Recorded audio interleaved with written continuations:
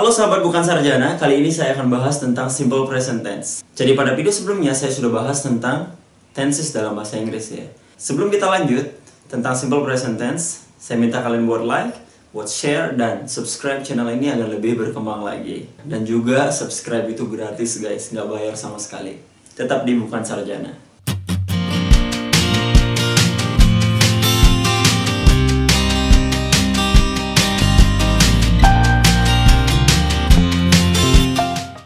Halo guys, welcome back. Hari ini kita akan bahas tentang simple present tense. Jadi ini adalah tenses yang paling mudah digunakan sebenarnya karena hampir setiap hari kita menggunakan ini. Cuman mungkin beberapa di antara kita tidak sadar gitu kalau kita sudah menggunakan simple present dalam percakapan kita sehari-harinya.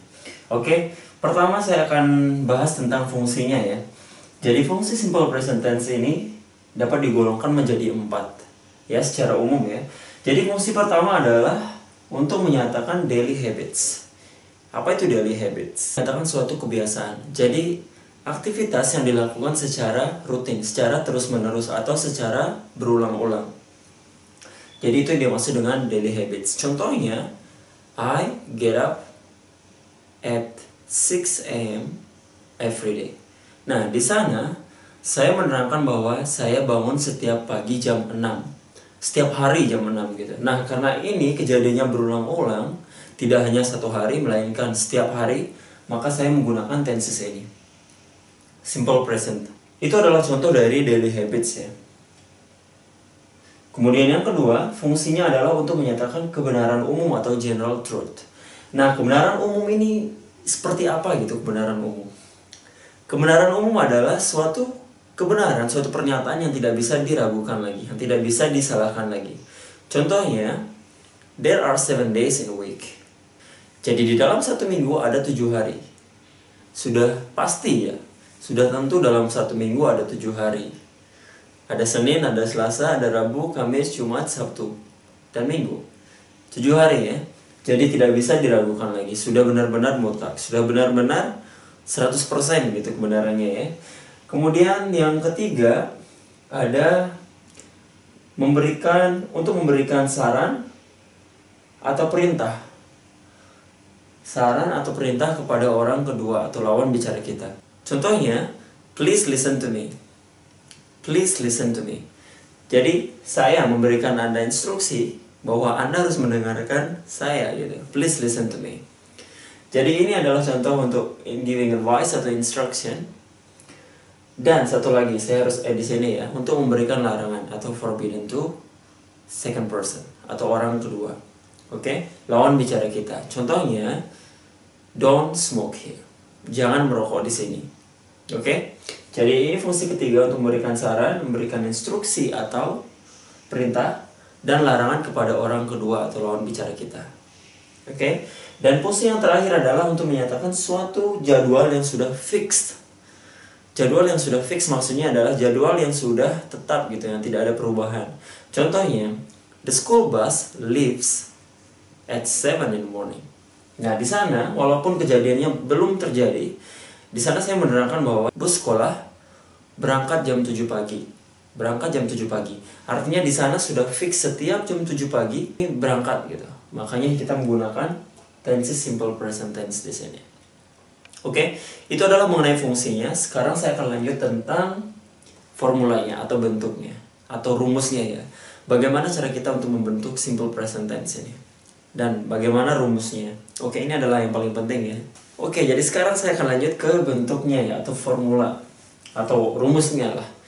Jadi tidak hanya dalam matematika kita menggunakan rumus, tapi dalam tenses dalam bahasa Inggris kita juga punya rumusnya guys. Jadi ini hampir sama dengan fisika ya. Kalau kalian tahu rumusnya, kalian akan bisa mengerjakan soalnya. Seperti itu kira-kira. Oke, ini adalah rumusnya dalam simple present. Secara umum, kita punya dua bentuk kalimat dalam bahasa Inggris khususnya tensesnya ya. Pertama ada kalimat verbal dan kedua ada nominal. Apa itu nominal dan apa itu verbal? Mungkin beberapa dari kalian sudah pernah mendengar kalimat ini ya. Jadi kalau untuk kalian yang belum tahu, kalimat verbal adalah kalimat yang predikatnya menggunakan kata kerja. Contohnya, I read newspaper every morning. Read di sana adalah kata kerja atau verb maka kalimat ini adalah kalimat verbal. Sedangkan kalimat nominal adalah kalimat yang tidak menggunakan kata kerja. Jadi predikatnya bukan kata kerja ya.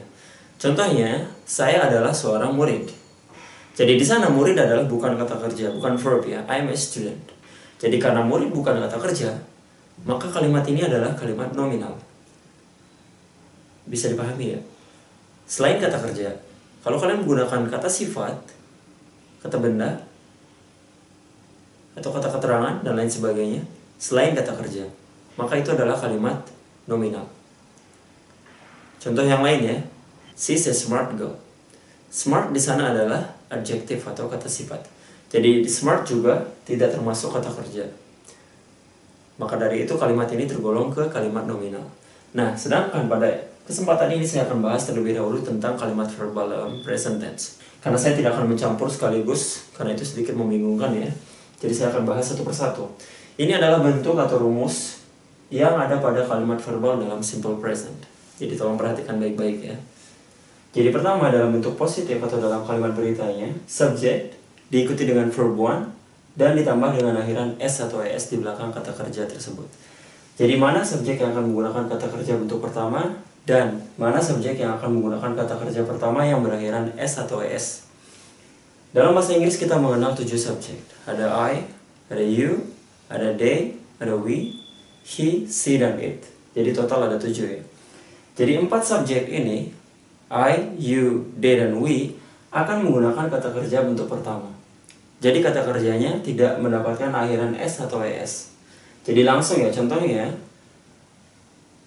I go to work at 8 a.m. every morning. Jadi I go, bukan I goes. You go, they go, dan we go. Keempat subjek ini langsung diikuti dengan kata kerja bentuk pertama. Sedangkan he, she, dan it nanti akan diikuti dengan kata kerja pertama yang mendapat akhiran S atau ES di belakang kata kerja tersebut. Contohnya, she goes to school every morning. He goes to school every morning. Jadi go di sana berubah menjadi goes karena he she adalah subjek orang ketiga tunggal. Jadi he she ini adalah orang ketiga tunggal. Sedangkan untuk it, it ini khusus digunakan untuk benda selain orang ya. It ini digunakan untuk benda Contohnya, hmm, kalau saya bilang the sun rises from east.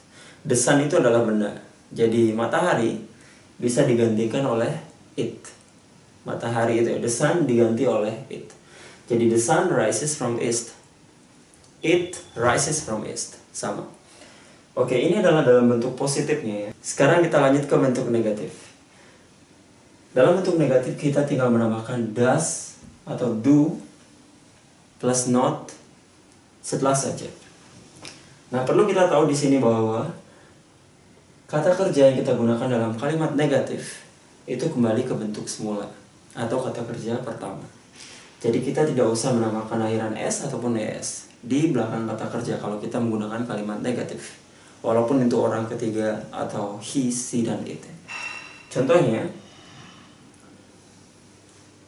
I do not go to school every day.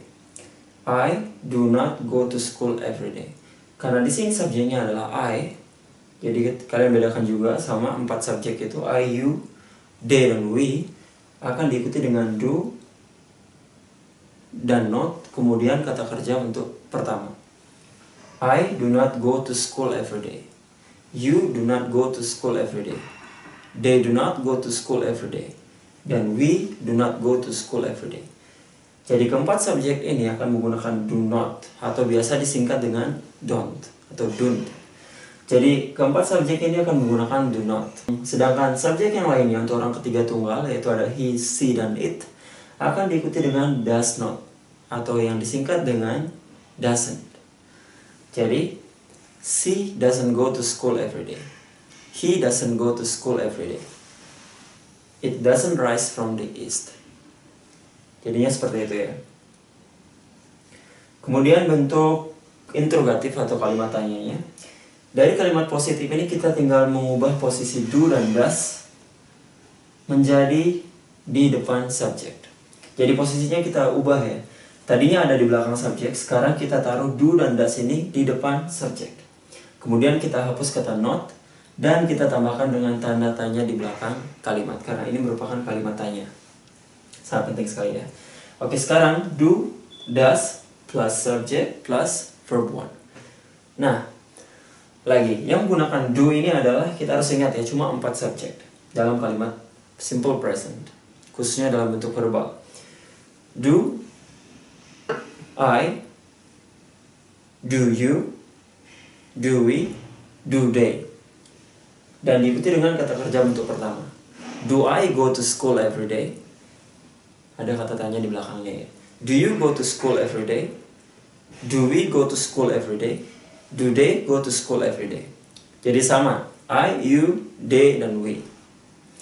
Kemudian untuk he, she, dan it, maka kalian akan menggunakan does di depannya. Does he go to school every day? Does he go to school every day? Does it rise from east? Atau does the sun rise from east? Apakah matahari terbit dari timur gitu ya? Oke, ini adalah formulanya.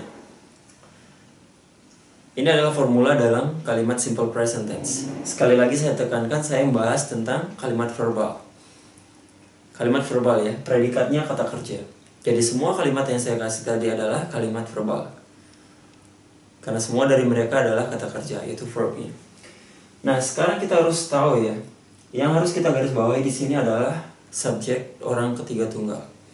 Jadi nanti tidak akan selalu he see it. Terkadang kita juga menggunakan nama orang di situ. Terkadang kita langsung menggunakan contohnya John ya. John goes to school every day.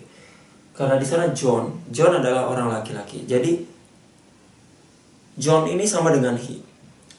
Sedangkan kalau John-nya diganti oleh Annie, maka itu akan berubah menjadi she. Karena Annie ini adalah orang perempuan, maka Annie akan digantikan oleh she. Sedangkan untuk kata benda, mungkin kalian berbicara tentang cuaca, maka kalian akan menggunakan it di sana. Jadi kalian tidak usah berpatokan ke he, she, it saja. Bagaimana kalau ada nama orang di dalam satu kalimat. Jadi kalian juga harus tahu, kalian harus kenal orang itu satu atau lebih dari satu, tunggal atau jamak. Kalau orangnya jamak, kalian tidak akan menggunakan s atau es di akhiran kata kerja dalam kalimat positif. Sama juga untuk ini ya, untuk subjek I, you, they, dan we. Kalau semisal untuk mereka lebih dari satu, contohnya kita membuat kalimat dengan John and Annie go to school every day. Karena John dan Annie adalah lebih dari satu orang, maka kita akan menggunakan verb one. Jadi kita tidak akan menggunakan John and Annie goes to school every day. Karena John dan Annie ini sudah nyata-nyata dua orang ya, jadi mereka tidak sendirian. Karena mereka lebih dari satu orang, maka kalian akan menggunakan verb one. Oke? Dan untuk we juga. We, kalau saya menjelaskan, I and you study English. Saya dan anda belajar bahasa Inggris.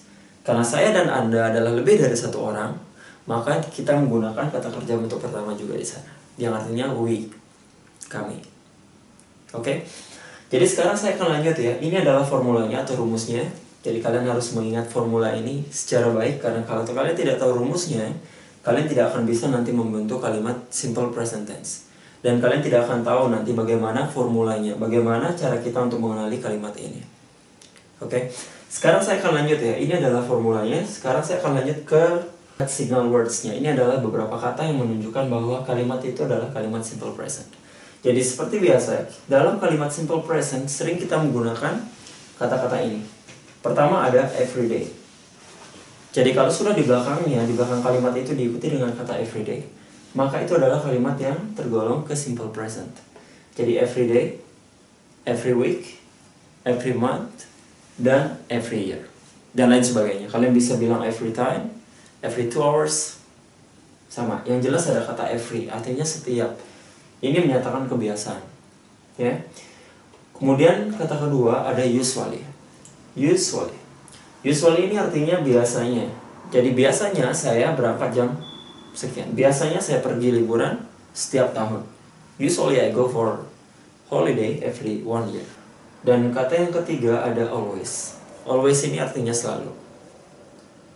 Kita juga sering menggunakan kata ini dalam simple present tense. I always get up at this time. I always go to this place. Jadi kata always juga. Kemudian ada sometimes, kadang-kadang. Kenapa kadang-kadang bisa diuangkan di sini? Karena walaupun dia kadang-kadang, tapi ini bisa dilakukan juga di masa yang akan datang. Jadi kadang-kadang ini tidak artinya sekali saja. Kadang-kadang itu artinya berulang-ulang juga. Bisa hari ini, bisa besok atau bisa tiga hari lagi dan selanjutnya. Jadi ini adalah kata-kata yang sering digunakan dalam simple present tense.